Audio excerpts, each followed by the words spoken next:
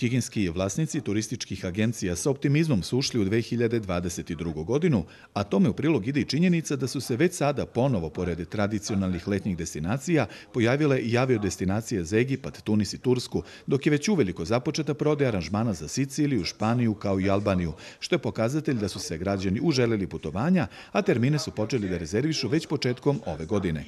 Čini se da je, barem u ovoj predprodaji, tražnja na dobrom putu da dostigne onaj rekord koji je bio 2019. Naravno da to ne zavisi samo od nas, od turizmu, nego i od nekih drugih okolnosti.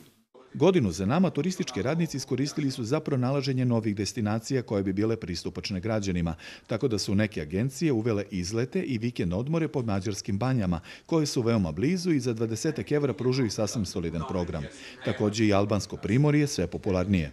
Bila je neobična godina, znači leto je kasno počelo, jako i kratko je trajalo, dva, svega dva meseca, ali eto, znači 2020. smo otkrili u raljama korone novu destinaciju Albaniju, U protekle dve godine pandemija je najviše pogodila ugostiteljski sektor turizma. U našoj zemlji funkcioniše oko 400.000 privrednika, od toga je oko 280.000 preduzetnika, dok su ostatak mikro, mala i srednja preduzeća.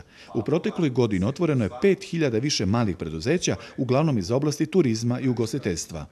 U prošloj godini 11.300, ja mislim da je zatvoreno ali zato je otvoreno preko 16.000. Znači preko 5.000 je u plus.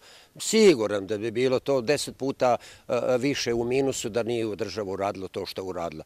Turistički radnici očekuju znatno bolju poslovnu godinu uz konstataciju da je turizam fleksibilan i prilagođava se potrebama građana. Destinacije su ponovo ponudi, građani su željni putovanja, a na vlasnicima agencija da sada to i iskoriste.